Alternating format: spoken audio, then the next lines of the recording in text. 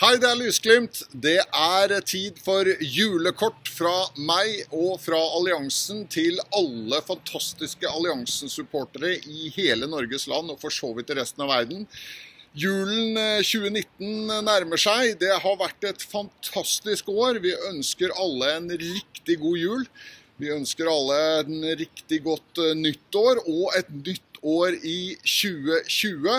Det har vært utrolig gøy i 2019 å jobbe sammen med dere alle, med alle alliansens supportere. Og alt vi har fått til i 2019 er jo bare helt fantastisk.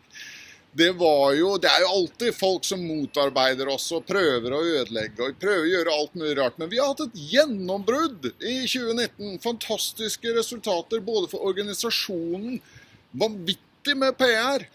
Og valgresultatet ble kjempebra, så vi har på en måte vokst og blitt sterkere tross motstanden. Og det er vel kjennetegnene for det vi driver med i alliansen. Altså, vi har en kraft, vi har en innsatsvilje. Vi står på. Jeg ser hver eneste dag kommentarfelt.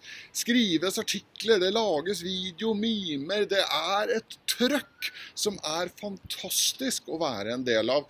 Så en enorm takk til alle sammen. Fra meg, fra alliansen, fra alle som jobber sentralt i alliansen ledelsen og har verv og roller til alle i hele organisasjonen. Og det mener jeg virkelig fra absolutt alle som gjør noe for sannheten, for å få frem en ny politisk debatt, for å få frem sandruelighet, for å knuse en løgn. Alle som er oppriktige og gjør noe for oppriktigheten, redeligheten, og betaler en pris for det. Det er det vi må ha nå. Vi må ha en en slags revolusjon i oppriktighet, i redelighet, i autentisitet, istedenfor det løgnaktige modus operandi som er blitt, hvor løgnene er overalt. Hvor løgnene er på en måte blitt akseptert, og at det er blitt en til og med institusjonaliserte løgner. Dette må vi motvirke på alle plan. Og det gjelder alt fra den største politikken og Nato og krigene og løgnene og pengene og sentralbanken og allting,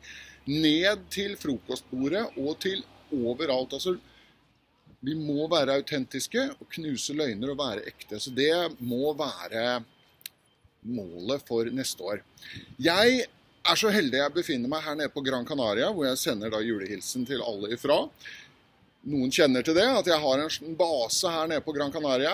Er her hver vinter, har holdt masse seminarer og foredrag og hatt hundrevis av mennesker innom seminarene mine. Både om entreprenørskap, starte forretninger, men om livet og hva du vil med livet ditt. Og nå er min fokus uh, helse, og uh, kommer til å fokusere mye mer på helse fremover. Jeg eh, opplever fantastisk helse her sammen med venner. Dette er jo, altså Gran Canaria, som er så lett tilgjengelig fra Norge, det er jo altså verdens beste klima. Det blir regnet for å være verdens beste klima. Tørt, fantastisk luftkvalitet, fantastiske råvarer. Jeg svømmer i sjøen hver eneste dag. Og, og solen og alt sammen, det er fantastisk. Akkurat nå følger jeg en eh, diettplan, en ketose, sammen med fasting. Uh, ketoseplanen er utarbeidet av min gode venn Petter Amundsen, som har skrevet en bok som heter 'Slank i sofa', som beskriver denne ketoseprosessen. Jeg har selv gått ned mange kilo. Føler meg helt fantastisk. Den boken til Petter Amundsen, 'Slank i sofa', den kan du laste ned gratis på nettet. Det anbefaler jeg alle å gjøre. Fantastisk. Og kom ned på eventene som jeg arrangerer fremover også de neste år og året etter. Det kommer til å bli mye fremover. Det kommer til å bli mye mer fokus eh, fra meg og fra organisasjonen vi har her nede. Også i alliansen. Jeg ser at disse tingene henger sammen. Helse er Du må ha helse, ikke sant? Har du ikke helse, da, så faller alt annet sammen. Så vi må ha en fokus på helse også. Og det kommer vi til å legge mye mer fokus på. Jeg privat er veldig opptatt av det akkurat nå. Og det, det, betyr at vi pusher på. Nå, akkurat eh, når jeg er her nede nå, og de seneste ukene siden valget, så har jeg ikke pushet så hardt i mediebildet og med å lage video og sånn. Og det er fordi at man kan ikke på en måte være i fokus hele tiden, for da burner man ut. Så det er helt bevisst fra min del at jeg nå er her nede på Gran Canaria, planlegger. Jeg skriver masse notater om fremtidige stunts vi skal gjøre, og hva som er planen videre. og Det skal jeg lage masse videoer om. Det kommer masse! Og det begynner nå etter hvert som eh, valgkampen eh, i USA osv. begynner å se på vårparten. Nå så skal alle de etablerte norske partiene ha årsmøte. Og da blir det mye debatt rundt liksom, nye regjeringskonstellasjoner, og vi ser på hva våre konkurrenter gjør osv. Da kommer jeg til å legge inn et nytt gir og så komme mer på banen.